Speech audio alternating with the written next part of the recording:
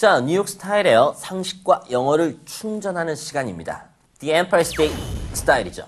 자, 이 시간에는요, 여러분이 보내주시는 영어 실수담과 질문을 통해서 뉴욕의 이모저모와 또 이 practical한 표현을 익혀볼 건데요. 자, 오늘은요, 닉네임 크라우저님께서 이런 사연 주셨습니다.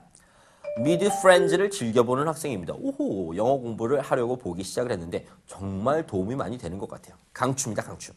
그런데 보다 보니까 레이첼한테 고백을 못하는 로스가 Mayor of the Friend Zone이라고 불리더라고요. 내용상으로는 대충 이해가 되는데 Friend Zone이 실제 쓰는 표현인가요? 라고 물어보셨네요. 오케이, 크라우저님. 저도 Friend 참 재밌게 봤는데요. 영어 공부하느라 꼼꼼히 보시나 봅니다. 아주 좋은 그런 자세입니다. 오케이. 자, 레이첼과 로스, 그죠? 결국은 연인이 되었다가 또 헤어지게 되는 그런 관계였는데요. 자, 그래서 로스에게요.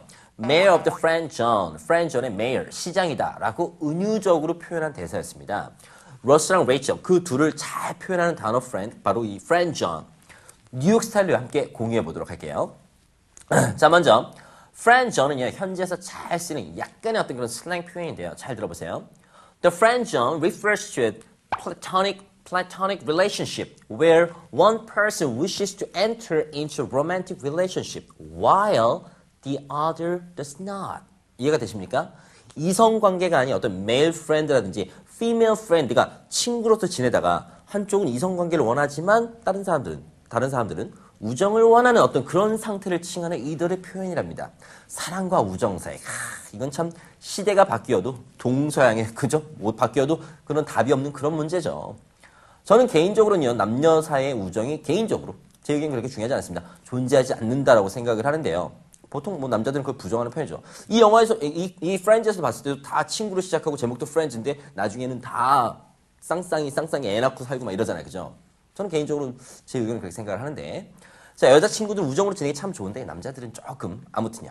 어느 날 사랑으로 이렇게 바뀌기도 하고 드라마처럼 어우 머리 아프죠. 그런 거 너무 싫어요. 아무튼요. 친한 친구랑 프렌즈존에 빠졌어. 자 이럴 땐 영어로 어떻게 표현을 하느냐. Alright. I'm stuck in the friend zone. 오케이? 거기에 stuck, stuck 돼 있다라는 거. 그러면서 이렇게 고민하는 거죠. 오케이? 하, 어떻게 빠져나가지? 라고요. How do I get out of? Get out of. How do I get out of the friend zone? 오케이? 비슷하게 빠지다가 get out 빠져나가다를 이용한 그런 문장이었습니다. 자, 이부를 한번 따라해보면서 정리해 보도록 할게요. 이런 oops 친구와 friend zone에 빠졌어. I'm stuck in the friend zone. Your turn.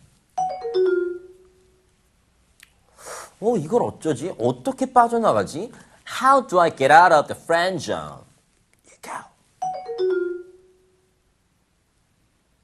오케이. Friends, 열심히 시청하십시오.